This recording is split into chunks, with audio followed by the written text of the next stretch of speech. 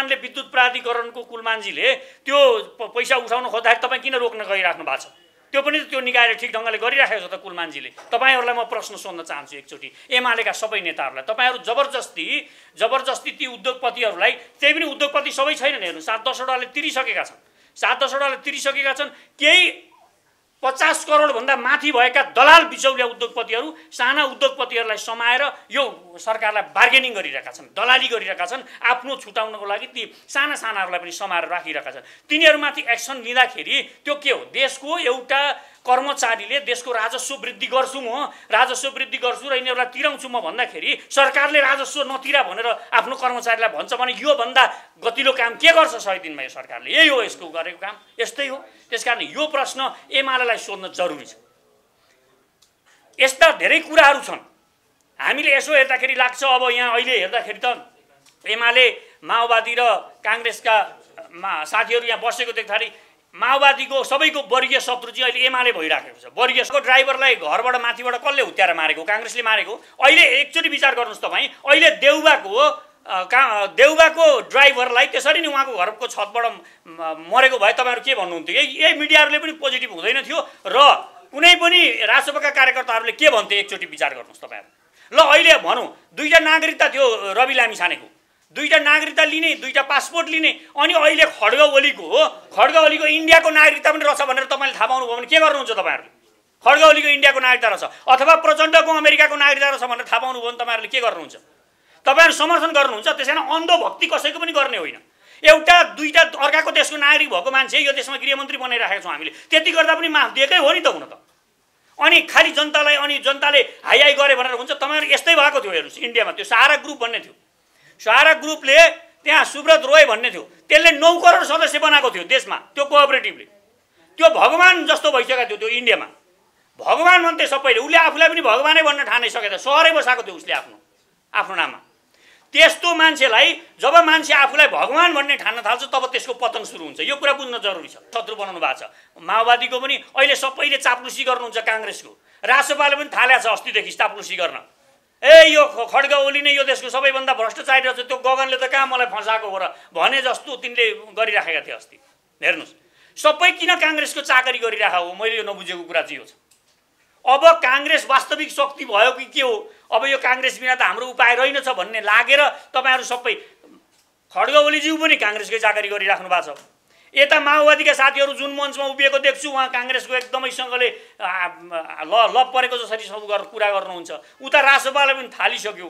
यो देशमा सबैभन्दा अब हामी चाहिँ के भन्थ्यौँ? अब जेन्युन कुरा सुन्दाखेरि फेरि अब यहाँ हामीले अस्ति मिनबहादुर सरलाई बोलायौँ विश्वकर्मा मिनबहादुर विश्वकर्मा सरलाई। आज उदय शमशेरजी आउनु भएको छ। उहाँहरूको कुरा सुन्दाखेरि उहाँ जेन्युन कुरा फेरि कति राम्रो कुरा पनि गरिराख्नु भएको छ उहाँहरू। हामीले आएको हामीले ल्याएका पाहुनाहरू चाहिँ साथीहरू चाहिँ। भन्दाखेरि अब काङ्ग्रेसले नै यो देश जिम्मा लिनुपर्छ भनेर सबैले ठानेको हो कि के हो त? त्यो हो भने धेरै तपाईँहरू दलाली गरेर नबस्नुहोस् अब। काङ्ग्रेसलाई सरकार बनाउन दिनुहोस्। काङ्ग्रेसको नेतृत्वमा सरकार बनाउन दिनुहोस् र तपाईँहरू सबै मिलेर अगाडि बढ्नुहोस्। पहिला जसरी काङ्ग्रेसले संविधान बनायो त्यसरी नै बनाओस्। देश पनि बनाओस् उसले। र जेनुन काङ्ग्रेसलाई बरु दबाब दिनुहोस्। अलि राम्राहरू उदय शमशेर जस्ताहरू मिनबहादुरहरू चन्द्र भण्डारी जस्ता गगन थापा जस्ता विश्वप्रकाश जस्ताहरूलाई सरकारमा लानु पर्यो भनेर काङ्ग्रेसलाई बरु तपाईँहरूले पनि दबाब दिनुहोस् ती राम्रा राम्रा लगेर बनाऊ। दलाली मात्रै गरेर देश बन्दैन कि? खालि दलाली गर्ने आफ्नो लागि मात्रै दलाली नगरौँ। मेरो भनाइ यो पनि छ। अनि अब अस्ति प्रचण्डजीले आमसभा राख्नुभयो त्यहाँ। त्यसलाई म बार्गेनिङ सभा पनि भन्छु फेरि। त्यो आमसभा भन्दा पनि। बार्गेनिङ सभा चाहिँ मैले किन भनेको भने उहाँका ती लडाकुहरूलाई फेरि पैसा चाहिएछ क्या भनेको उहाँको पार्टीलाई चाहिएछ। खड्ग ओलीजीले भने मैले भने होइन फेरि। उहाँलाई पैसा चाहिएछ बार्गेनिङ गरेर फेरि पैसा दे भन्न थाल्नुभएछ उहाँहरूले दिन्न भनेपछि अनि त्यहाँ बार्गेनिङ सभा गर्नुभएको छ। अनि बार्गेनिङ सभामा के भन्नुहुन्छ कामरेड प्रचण्ड फेरि भने यो मिनबहादुरले एघार एघार रोपनी जग्गा फेरि त्यो एमालेलाई किन दिएको भने म यो देशका पार्टीहरू काङ्ग्रेसले पनि बेला बेलामा उठाउने गरेको छ क्या त्यत्रो दिनु हुँदैन थियो भने जस्तो गरेर। म काङ्ग्रेस र माओवादीका साथीहरूलाई भन्न चाहन्छु तपाईँहरू चाहिँ के आलु र भन्टा बेचेर पार्टी चलाइराख्नु भएको छ? यस्तैले दिइरहेको छ नि तपाईँहरूलाई पनि। दिने त यस्तैले हो। भने तपाईँहरूको विरोधको के अर्थ छ भने के को विरोध गर्नुहुन्छ तपाईँहरू? नाटक यो डुवेल क्यारेक्टर किन देखाउनुहुन्छ क्या? जनताको आँखामा किन भ्रम छर्नुहुन्छ तपाईँहरू? यो हो मेरो भनाइ। सर्वहाराको लागि लडेकै हो माओवादी। गरिबको लागि लडेको हो। सर्वहारा र गरिबको लागि लड्दा लड्दै लड्दा लड्दै ती नेता कसरी धनी भए?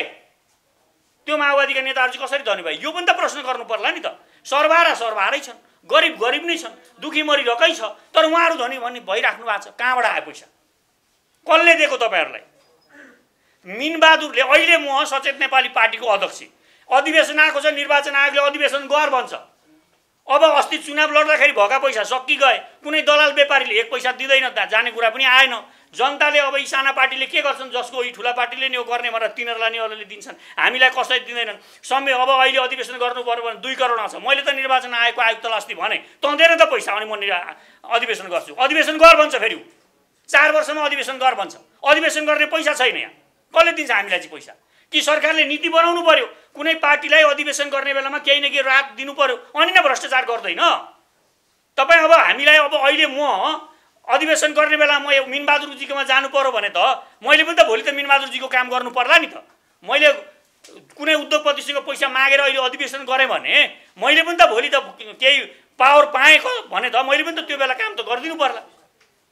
त्यसकारण तपाईँहरू सबै जुन डबल स्ट्यान्डर्डको राजनीति गरिराख्नु भएको छ यो जनताको आँखामा भ्रम नछर्नुहोस् तपाईँहरू। तपाईँहरू भित्री कोठामा एउटा हुन्छ बाहिर एउटा देखाउनुहुन्छ र जनतालाई आँखा छर्ने बेलामा अर्को कुरा गरिराख्नु भएको छ।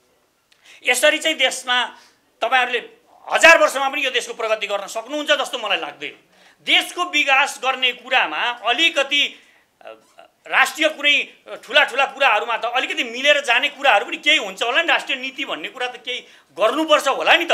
त्यसमा त कमसेकम मिल्नुपर्छ होला नि त। ल ठिकै छ सानातिना कुराहरूमा तपाईँहरू झगडा गर्नुहोस् राजनीति हो अलिअलि गर्नुपर्छ। अनि यता रवि लामिछानेको कुरा पनि त्यही आउँछ फेरि।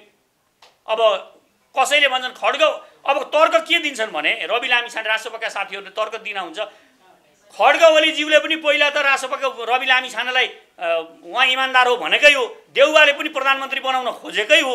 अब प्रचण्डज्यू अहिलेसम्म राम्रो भन्दै हुनुहुन्छ उहाँ कसरी बेइमान हुनुभयो भनेर सोध्छन् राजसभाका कार्यकर्ताहरू। यिनीहरू न्यायाधीश हुन् यो प्रचण्ड यी खड्ग ओली देउवा न्यायाधीश हुन् रवि लामिछानेलाई गल्ती गरेको छ कि छैन भन्ने अब न्यायालयले हेर्छ। सबै कुरा न्यायालयलाई हेर्न दिनुहोस् न तपाईँहरू। न्यायालयप्रति विश्वास गर्नुहोस् न तपाईँ डेमोक्रेटीमा डेमोक्रेसीमा विश्वास गर्नुहुन्छ तपाईँहरूलाई त्यो विश्वास छ भने। कम्तीमा त त्यति त तपाईँहरूसँग आउनुपर्छ नि त। म हामी लोकतन्त्रको विश्वास गर्छौँ भन्ने। अनि काम गरिएको सरकारका सय दिनका कुरा गर्ने हो भने सय दिन के गरौँ सरकारले भन्दाखेरि अब आज यहाँ ठुला ठुला पार्टी एमाले काङ्ग्रेस एमाले काङ्ग्रेस र माओवादी दुइटै ठु तिनटै ठुला पार्टीका नेताहरू यहाँ हुनुहुन्छ। अब सय दिनमा सरकारले के गरौँ भन्दा सरकार अमेरिका घुमेर आयो। सरकार अमेरिका घुमेर मात्र आएन यसले रवि लामिछानालाई आउने बित्तिकै जेल पनि हाल्यो। र अर्को एउटा प्रमुख काम पनि यसले गर्दैछ अहिले। त्यो धर्मशाला बालनले बालनले बालनको उसमा आइसकेको महानगरपालिकाले काम गर्ने भनेको धर्मशाला जुन मारवाडीबाट खोसिएको थियो अब उनीहरूबाट खोसेर ल्याइएको थियो त्यो फेरि यो सरकारले त्यही मारवाडीहरूलाई नि बुझाएको छ। यो पनि एउटा महान कार्य हो भन्नुपर्छ। यो तिनवटा ठुला काम हुन् अहिले सय दिनमा गरेका। अब यो सरकारले गर्न खोजेका काम पनि थिए केही चाहिँ। अहिलेको हाम्रो देशको अवस्था यस्तै यस्तै छ। अब सय दिनमा सरकारले के गरौँ भन्दाखेरि अस्ति एकजना मन्त्रीसँग एउटा पार्टीमा निस्किँदै गर्दाखेरि भेट भएको थियो। नाम चाहिँ नभनौँ। अनि एकदम देशमा यत्र समस्याहरू खडा भएका छन् तपाईँ पार्टी गरेर हिँडिराख्नु भएको छ यत्रो बाँडीपिँढीले देश आक्रान्त छ यी समस्याहरू यत्रो समस्याहरू खडा भइरहेको समाधान गर्ने केही उपाय तपाईँहरूसँग छैन भन्दाखेरि? उहाँले के भन्नुभयो भने ए पुण्यजी अलि नजिकै साथी जस्तै पनि छन् ती। समस्या समाधान गर्ने धेरै उपाय छन्। प्रमुख उपाय चाहिँ के भने यो समस्यालाई एकदमसँगले खडा भइरहन दिनुपर्छ। अनि एकदम खडा भइरहेपछि यो थाक्छ अनि आफै बस्छ यो। भनेर उहाँले समाधान देखाउनु भएको थियो। अहिलेको सरकारका सय दिनका कुरा गर्ने हो भने सय दिन के गरौँ सरकारले भन्दाखेरि अब आज यहाँ ठुला ठुला पार्टी एमाले काङ्ग्रेस एमाले काङ्ग्रेस र माओवादी दुइटै ठु तिनटै ठुला पार्टीका नेताहरू यहाँ हुनुहुन्छ। अब सय दिनमा सरकारले के गरौँ भन्दा सरकार अमेरिका घुमेर आयो। सरकार अमेरिका घुमेर मात्र आएन यसले रवि लामिछानालाई आउने बित्तिकै जेल पनि हाल्यो। र अर्को एउटा प्रमुख काम पनि यसले गर्दैछ अहिले। त्यो धर्मशाला बालनले बालनले बालनको उसमा आइसकेको महानगरपालिकाले काम गर्ने भनेको धर्मशाला जुन मारवाडीबाट खोसिएको थियो अब उनीहरूबाट खोसेर ल्याइएको थियो त्यो फेरि यो सरकारले त्यही मारवाडीहरूलाई नि बुझाएको छ। यो पनि एउटा महान कार्य हो भन्नुपर्छ। यो तिनवटा ठुला काम हुन् अहिले सय दिनमा गरेका। अब यो सरकारले गर्न खोजेका काम पनि थिए केही चाहिँ। यो सरकारले गर्न खोजेको काममा पाँच वर्षे हदम्याद भ्रष्टाचारीहरूलाई पाँच वर्षे हदम्याद ल्याउन खोजेको थियो त्यो पनि यो सरकारले बल गरेरै गर्न खोजेको थियो। त्यस पछाडि यसले अहिले अब स्ट्रिङ अपरेसन गर्न नपाउने भनेर पनि ल्याउँदैछ अब। अब तपाईँहरूले कसैले काहीँ एउटा भ्रष्टको भिडियो क्लिप बनाउनु भयो अथवा फोन रेकर्ड गर्नुभयो र त्यो आफ्नो वेबसाइटमा कतै लगाउनु भयो भने तपाईँहरू सिधै खोरमा जाकिने हो। अब त्यस्तो आउँदैछ। अब भ्रष्टाचारीहरू उन्मुक्त भने त्यो पनि एउटा काम गर्न खोज्दैछ यो सरकारले। यो सरकारका केही कामहरू हुन् यो सय दिनका। अघि भन्दै हुनुहुन्थ्यो हाम्रो महेश सरले प्रमुख सचेतक एमालेको। उहाँले के भन्नुभयो भने हामीले रवि लामिछानलाई हामीले थुनेको होइन यो त सरकारको प्रक्रियागत सरकारका निकायहरूले गर्ने पुलिसले गर्ने काम गरिराखेको छ त। उसलाई गर्न दिने हो हामी सबैले गर्न दिनुपर्छ। आफ्नो काम सबैले राम्रोसँगले गर्छन् उनीहरूले भनिराख्नु भएको थियो। तर उहाँलाई म एउटा कुरा सोध्न चाहन्छु कुलमानले विद्युत प्राधिकरणको कुलमानजीले त्यो पैसा उठाउन खोज्दाखेरि तपाईँ किन रोक्न गइराख्नु भएको छ? त्यो पनि त्यो निकायले ठिक ढङ्गले गरिराखेको छ त कुलमानजीले। तपाईँहरूलाई म प्रश्न सोध्न चाहन्छु एकचोटि। एमालेका सबै नेताहरूलाई। तपाईँहरू जबरजस्ती जबरजस्ती ती उद्योगपतिहरूलाई त्यही पनि उद्योगपति सबै छैनन् हेर्नु। सात दसवटाले तिरिसकेका छन्। सात दसवटाले तिरिसकेका छन्। केही पचास करोडभन्दा माथि भएका दलाल बिचौलिया उद्योगपतिहरू साना उद्योगपतिहरूलाई समाएर यो सरकारलाई बार्गेनिङ गरिरहेका छन् दलाली गरिरहेका छन् आफ्नो छुटाउनको लागि ती साना सानाहरूलाई पनि समाएर राखिरहेका छन्। तिनीहरूमाथि एक्सन लिँदाखेरि त्यो के हो? देशको एउटा कर्मचारीले देशको राजस्व वृद्धि गर्छु म राजस्व वृद्धि गर्छु र यिनीहरूलाई तिराउँछु म भन्दाखेरि सरकारले राजस्व नतिरा भनेर आफ्नो कर्मचारीलाई भन्छ भने योभन्दा गतिलो काम के गर्छ सय दिनमा यो सरकारले? यही हो यसको गरेको काम। यस्तै हो। त्यस कारण यो प्रश्न एमालेलाई सोध्न जरुरी छ। यस्ता धेरै कुराहरू छन्। हामीले यसो हेर्दाखेरि लाग्छ अब यहाँ अहिले हेर्दाखेरि त एमाले माओवादी र काङ्ग्रेसका साथीहरू यहाँ बसेको देख्दाखेरि माओवादीको सबैको वर्गीय शत्रु चाहिँ अहिले एमाले भइराखेको छ। वर्गीय शत्रु बनाउनु भएको छ। माओवादीको पनि अहिले सबैले चाप्लुसी गर्नुहुन्छ काङ्ग्रेसको। रासोपाले पनि थालेको छ अस्तिदेखि चाप्लुसी गर्न। ए यो खड्ग ओली नै यो देशको सबैभन्दा भ्रष्टाचारी रहेछ त्यो गगनले त कहाँ मलाई फसाएको हो र भने जस्तो तिनले गरिराखेका थिए अस्ति। हेर्नुहोस् सबै किन काङ्ग्रेसको चाकरी गरिरहेको हो? मैले यो नबुझेको कुरा चाहिँ यो छ। अब काङ्ग्रेस वास्तविक शक्ति भयो कि के हो? अब यो काङ्ग्रेस बिना त हाम्रो उपाय रहेनछ भन्ने लागेर तपाईँहरू सबै खड्ग ओलीज्यू पनि काङ्ग्रेसकै चाकरी गरिराख्नु भएको छ। यता माओवादीका साथीहरू जुन मञ्चमा उभिएको देख्छु उहाँ काङ्ग्रेसको एकदमैसँगले ल लप परेको जसरी सब गरेर कुरा गर्नुहुन्छ। उता रासोपाले पनि थालिसक्यो। यो देशमा सबैभन्दा अब हामी चाहिँ के भन्थ्यौँ? अब जेन्युन कुरा सुन्दाखेरि फेरि अब यहाँ हामीले अस्ति मिनबहादुर सरलाई बोलायौँ विश्वकर्मा मिनबहादुर विश्वकर्मा सरलाई। आज उदय शमशेरजी आउनु भएको छ। उहाँहरूको कुरा सुन्दाखेरि उहाँ जेन्युन कुरा फेरि कति राम्रो कुरा पनि गरिराख्नु भएको छ उहाँहरू। हामीले आएको हामीले ल्याएका पाहुनाहरू चाहिँ साथीहरू चाहिँ। भन्दाखेरि अब काङ्ग्रेसले नै यो देश जिम्मा लिनुपर्छ भनेर सबैले ठानेको हो कि के हो त? त्यो हो भने धेरै तपाईँहरू दलाली गरेर नबस्नुहोस् अब। काङ्ग्रेसलाई सरकार बनाउन दिनुहोस्। काङ्ग्रेसको नेतृत्वमा सरकार बनाउन दिनुहोस् र तपाईँहरू सबै मिलेर अगाडि बढ्नुहोस्। पहिला जसरी काङ्ग्रेसले संविधान बनायो त्यसरी नै बनाओस्। देश पनि बनाओस् उसले। र जेनुन काङ्ग्रेसलाई बरु दबाब दिनुहोस्। अलि राम्राहरू उदय शमशेर जस्ताहरू मिनबहादुरहरू चन्द्र भण्डारी जस्ता गगन थापा जस्ता विश्वप्रकाश जस्ताहरूलाई सरकारमा लानु पर्यो। भनेर काङ्ग्रेसलाई बरु तपाईँहरूले पनि दबाब दिनुहोस् ती राम्रा राम्रा लगेर बनाऊ। दलाली मात्रै गरेर देश बन्दैन कि? खालि दलाली गर्ने आफ्नो लागि मात्रै दलाली नगरौँ। मेरो भनाइ यो पनि छ। अनि अब अस्ति प्रचण्डजीले आमसभा राख्नुभयो त्यहाँ। त्यसलाई म बार्गेनिङ सभा पनि भन्छु फेरि। त्यो आमसभा भन्दा पनि। बार्गेनिङ सभा चाहिँ मैले किन भनेको भने उहाँका ती लडाकुहरूलाई फेरि पैसा चाहिएछ क्या भनेको उहाँको पार्टीलाई चाहिएछ। खड्गौलीजीले भने मैले भने होइन फेरि। उहाँलाई पैसा चाहिएछ बार्गेनिङ गरेर फेरि पैसा दे भन्न थाल्नुभएछ। उहाँहरूले दिन्न भनेपछि अनि त्यहाँ बार्गेनिङ सभा गर्नुभएको छ।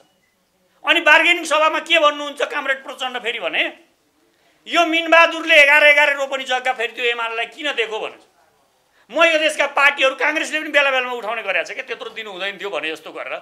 म काङ्ग्रेस र माओवादीका साथीहरूलाई भन्न चाहन्छु तपाईँहरू चाहिँ के आलु र भन्टा बेचेर पार्टी चलाइराख्नु भएको छ? यस्तैले दिइरहेको छ नि तपाईँहरूलाई दिने त यस्तैले हो। भने तपाईँहरूको विरोधको के अर्थ छ भने के को विरोध गर्नुहुन्छ तपाईँहरू? नाटक यो डुवेल क्यारेक्टर किन देखाउनुहुन्छ क्या जनताको आँखामा किन भ्रम सर्नुहुन्छ तपाईँहरू? यो हो मेरो भने सर्वहाराको लागि लडेकै हो माओवादी। गरिबको लागि लडेको सर्वहारा र गरिबको लागि लड्दा लड्दै लड्दा लड्दै ती नेता कसरी धनी भए? त्यो माओवादीका नेताहरू चाहिँ कसरी धनी भए? यो पनि त प्रश्न गर्नु पर्ला नि त। सर्वहारा सर्वहारै छन्। गरिब गरिब नै छन्। दुखी मरिरहेकै छ। तर उहाँहरू धनी भन्ने भइराख्नु भएको छ। कहाँबाट आयो पैसा कसले दिएको तपाईँहरूलाई? मिनबहादुरले अहिले म सचेत नेपाली पार्टीको अध्यक्ष। अधिवेशन आएको छ निर्वाचन आयोगले अधिवेशन गर भन्छ। अब अस्ति चुनाव लड्दाखेरि भएका पैसा सकि गए। कुनै दलाल व्यापारीले एक पैसा दिँदैन जाने कुरा पनि आएन। जनताले अब यी साना पार्टीले के गर्छन् जसको यी ठुला पार्टीले नि यो गर्ने भनेर तिनीहरूलाई नि अलिअलि दिन्छन् हामीलाई कसरी दिँदैनन्? समय अब अहिले अधिवेशन गर्नु पऱ्यो भने दुई करोड आउँछ। मैले त निर्वाचन आएको आयुक्तलाई अस्ति भने तँदैन त पैसा अनि म अधिवेशन गर्छु। अधिवेशन गर भन्छ फेरि चार वर्षमा अधिवेशन गर भन्छ। अधिवेशन गर्ने पैसा छैन यहाँ। कसले दिन्छ हामीलाई चाहिँ पैसा? कि सरकारले नीति बनाउनु पर्यो? कुनै पार्टीलाई अधिवेशन गर्ने बेलामा केही न केही रात दिनु पर्यो? अनि नै भ्रष्टाचार गर्दैन। तपाईँ अब हामीलाई अब अहिले म अधिवेशन गर्ने बेला म मिनबहादुरजीकोमा जानु पऱ्यो भने त मैले पनि त भोलि त मिनबहादुरजीको काम गर्नु पर्ला नि त। मैले कुनै उद्योगपतिसँग पैसा मागेर अहिले अधिवेशन गरेँ भने मैले पनि त भोलि त केही पावर पाएँ भने त मैले पनि त त्यो बेला काम त गरिदिनु पर्ला। त्यसकारण तपाईँहरू सबै जुन डबल स्ट्यान्डर्डको राजनीति गरिराख्नु भएको छ। यो जनताको आँखामा भ्रम नछर्नुहोस् तपाईँहरू। तपाईँहरू भित्री कोठामा एउटा हुन्छ बाहिर एउटा देखाउनुहुन्छ र जनतालाई आँखा छर्ने बेलामा अर्को कुरा गरिराख्नु भएको छ। यसरी चाहिँ देशमा तपाईँहरूले हजार वर्षमा पनि यो देशको प्रगति गर्न सक्नुहुन्छ जस्तो मलाई लाग्दैन। देशको विकास गर्ने कुरामा अलिकति राष्ट्रिय कुनै ठुला ठुला कुराहरूमा त अलिकति मिलेर जाने कुराहरू पनि केही हुन्छ होला नि। राष्ट्रिय नीति भन्ने कुरा त केही गर्नुपर्छ होला नि त। त्यसमा त कमसेकम मिल्नुपर्छ होला नि त। ल ठिकै छ सानातिना कुराहरूमा तपाईँहरू झगडा गर्नुहोस् राजनीति हो अलिअलि गर्नुपर्छ। अनि यता रवि लामी छानेको कुरा पनि त्यही आउँछ फेरि। अब कसैले भन्छन् खड्ग अब तर्क के दिन्छन् भने रवि लामी छाने राजसभाका साथीहरूले तर्क दिन हुन्छ खड्ग ओलीज्यूले पनि पहिला त राजसभाको रवि लामी छानेलाई उहाँ इमान्दार हो भनेकै हो देउवाले पनि प्रधानमन्त्री बनाउन खोजेकै हो। अब प्रचण्डज्यू अहिलेसम्म राम्रो भन्दै हुनुहुन्छ। उहाँ कसरी बेइमान हुनुभयो भनेर सोध्छन् राजसभाका कार्यकर्ताहरू। यिनीहरू न्यायाधीश हुन्। यो प्रचण्ड यी खड्ग ओली देउवा न्यायाधीश हुन् रवि लामी छानालाई गल्ती गरेको छ कि छैन भन्ने अब न्यायालयले हेर्छ। सबै कुरा न्यायालयलाई हेर्न दिनुहोस् न तपाईँहरू। न्यायालयप्रति विश्वास गर्नुहोस् न तपाईँ डेमोक्रेटीमा डेमोक्रेसीमा विश्वास गर्नुहुन्छ तपाईँहरूलाई त्यो विश्वास छ भने। कम्तीमा त त्यति त तपाईँहरूसँग आउनुपर्छ नि त। म हामी लोकतन्त्रको विश्वास गर्छौँ भन्ने अनि त्यहाँको ड्राइभरलाई घरबाट माथिबाट कसले हुत्याएर मारेको? काङ्ग्रेसले मारेको? अहिले एकचोटि विचार गर्नुहोस् तपाईँ। अहिले देउबाको का देउबाको ड्राइभरलाई त्यसरी नै उहाँको घरको छतबाट मरेको भए तपाईँहरू के भन्नुहुन्थ्यो? यही यही मिडियाहरूले पनि पोजिटिभ हुँदैन थियो। र कुनै पनि राजसभाका कार्यकर्ताहरूले के भन्थ्यो एकचोटि विचार गर्नुहोस् तपाईँहरू ल अहिले भनौँ दुईवटा नागरिकता थियो रवि लामी छानेको दुईवटा नागरिकता लिने दुईवटा पासपोर्ट लिने अनि अहिले खड्ग ओलीको हो। खड्ग ओलीको इन्डियाको नागरिकता पनि रहेछ भनेर तपाईँले थाहा पाउनुभयो भने के गर्नुहुन्छ तपाईँहरूले? खड्ग ओलीको इन्डियाको नागरिकता रहेछ अथवा प्रचण्डको अमेरिकाको नागरिकता रहेछ भनेर थाहा पाउनुभयो भने तपाईँहरूले के गर्नुहुन्छ? तपाईँहरू समर्थन गर्नुहुन्छ त्यसैले अन्धभक्ति कसैको पनि गर्ने होइन। एउटा दुईवटा अर्काको देशको नागरिक भएको मान्छे यो देशमा गृहमन्त्री बनाइराखेको छौँ हामीले त्यति गर्दा पनि माफ दिएकै हो नि त हुन त। अनि खालि जनतालाई अनि जनताले हाई हाई गरे भनेर हुन्छ तपाईँहरू यस्तै भएको थियो हेर्नुहोस् इन्डियामा त्यो सारा ग्रुप भन्ने थियो। सारा ग्रुपले त्यहाँ सुब्रत रोय भन्ने थियो। त्यसले नौ करोड सदस्य बनाएको थियो देशमा त्यो कोअपरेटिभले। त्यो भगवान् जस्तो भइसकेको थियो त्यो इन्डियामा। भगवान् भन्थे सबैले। उसले आफूलाई पनि भगवानै भन्न ठानिसकेको थियो सहरै बसाएको थियो उसले आफ्नो आफ्नो नाममा। त्यस्तो मान्छेलाई जब मान्छे आफूलाई भगवान् भन्ने ठान्न थाल्छ तब त्यसको पतन सुरु हुन्छ। यो कुरा बुझ्न जरुरी छ। चङ्गा जति माथि उठ्छ नि त्यसलाई काट्ने चङ्गा र यो विचार नेताहरू जति माथि उठ्छन् तब त्यसलाई काट्ने शक्तिहरू धेरै त्यहाँ बिचमा बनेका हुन्छन्। त्यस रवि लामी छानेको कुरामा तपाईँहरू लोयल नहुनुहोस् न्यायालयलाई काम गर्न दिनुहोस्। न्यायालयले काम गरेको हुनुपर्छ यो दुधको दुध पानीको पानी छुट्याएकै हुनुपर्छ। यत्तिकै हामीले जोसुकैलाई देशको प्रमुख पदहरूमा लाने जेसुकै गर्ने होइन। यो रा अहिले तपाईँ राजसभाको लागि राजसभा सिद्धियो राजसभा खत्तम भयो रवि लामी छाने भयो गएपछि राजसभा खत्तम हुन्छ भनेर ठाने। त्यो पनि त्यो ठान्नु भएन त्यहाँका सांसदहरूले। तपाईँ एउटा मान्छेलाई गलत मान्छेलाई अहिले लगेर एउटा मानिलिउँ गोविन्द जोशीलाई का तपाईँ हेर्नुहोस् न कहाँ काङ्ग्रेसकै कुरा गर्ने हो भने जति पनि नैतिक पतन भएका मानिसहरू छन् ती सबैलाई किनेर लाग्यो कि लागे कि लागेन तिनीहरू आफै? खुमबहादुर खड्का गोविन्दराज जोशी जयप्रकाश गुप्ता भन्ने उहाँ धनियाँ रोपेर बसिराखेको छन् ती काङ्ग्रेसका तिनी भ्रष्टाचार लागेको अभियोग लागेका मानिसहरू हुन् नि त यिनीहरू पनि।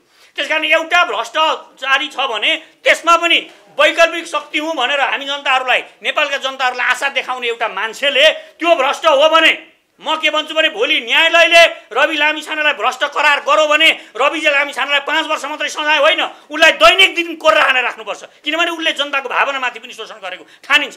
त्यस कारण फसायो फसायो भनेर खालि फसायो भनेर जनता उकास्ने जनता उराल्ने मात्र कुरा छैन यहाँ। त्यस कारण कुनै पनि अपराधीले अपराध गरेको छ भने उसलाई उसलाई रोकेकै हुनुपर्छ। उसलाई हामीले ठुला पदहरूमा जान दिनु हुँदैन र उसलाई कारवाही गरेको हुनुपर्छ त्यसको बचाउमा लाग्नु हुँदैन। यो कुरा बुझ्न जरुरी छ। भन्ने म ठान्छु। बत्ती पनि सकिएको छ ताई पनि बज्यो यति गरौँ।